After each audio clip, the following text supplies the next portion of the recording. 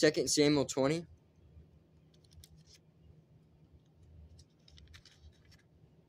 The revolt of Sheba.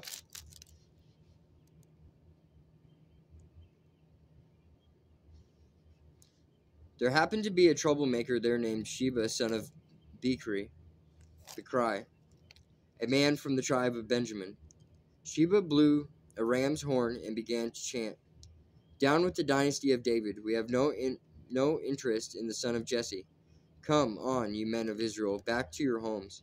So all the men of Israel deserted David and followed Sheba, son of Bichri. But the men of Judah stayed with their king and escorted him from the Jordan River to Jerusalem. When David came to, to his palace in Jerusalem, he took the ten concubines he had left to look after the palace and placed them in seclusion. Their needs were provided for, for, but he no longer slept with them. So each of them lived like a widow until she died.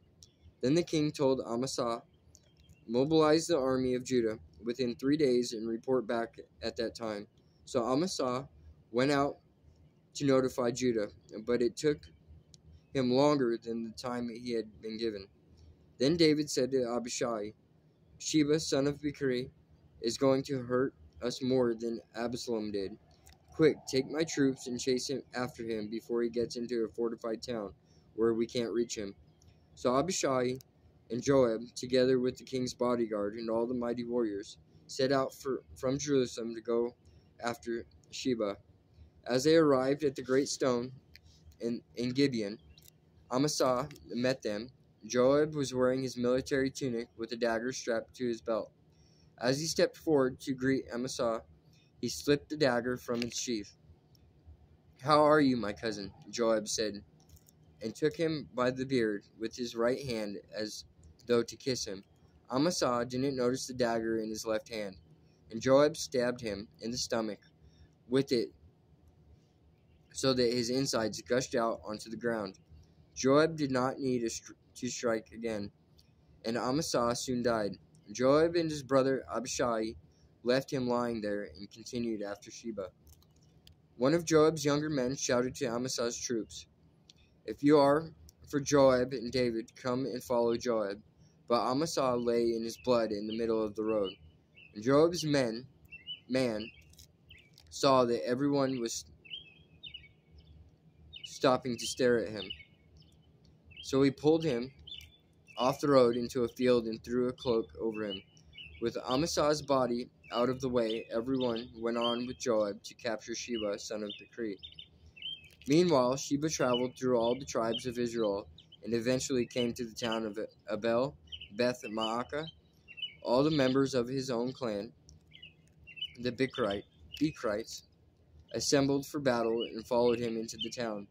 When Joab's forces arrived, they attacked Abel Beth Maacah. They built a siege rampart against the town's fortifications and began battering down the wall. But a wise woman in the town called out to Joab, Listen to me, Joab. Come over here so I can talk to you. As he approached, the woman asked, Are you Joab? I am, he replied. So she said, Listen carefully to your servant. I'm listening, he said.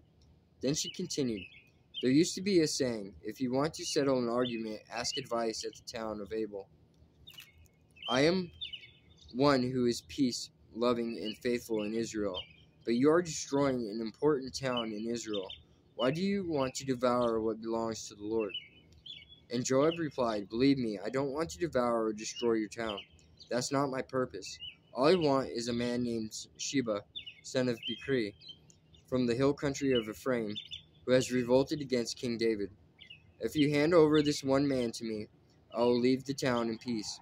All right, the woman replied. We will throw his head over the wall to you. Then the woman went to all the people with her wise advice and they cut off Sheba's head and threw out threw it out to Joab.